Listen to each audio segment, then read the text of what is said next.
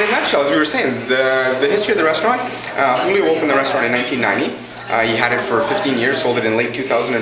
Uh, I myself worked here with him from 90 to 95. Uh, the people that he sold the restaurant to um, ceased to be in business this summer, and we were fortunate enough to pick up the restaurant in late September. Spent two months doing some renovations, getting everything cleaned up, opening it up, uh, tailor making it more for the neighborhood, a little different pricing structure and a little bit different feel. And here's where we are, and we'll see what people think of it so far.